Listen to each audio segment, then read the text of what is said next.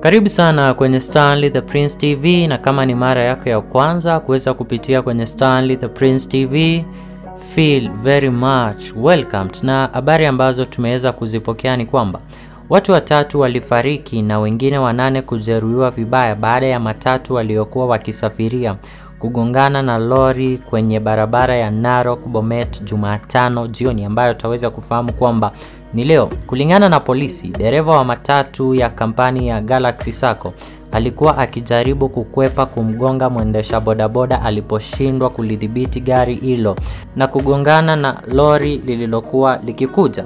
Matatu hiyo iliyokuwa na abiria kumi ilikuwa ikielekea Narok wakati bodaboda hiyo ikielekea upande huo. Dereva wa lori hilo na abiria wake walitoroka bila majeraha. Tunamwomba Mwenyezi Mungu akaweze kuzipa nguvu familia ambazo zimeweza kuwapoteza wapendwa wao, na tafadhali hakikisha kwamba umeweza kusubscribe kwenye Stanley the Prince TV ndiposa kuweza kupata habari zaidi pindi tu zinapochipuka.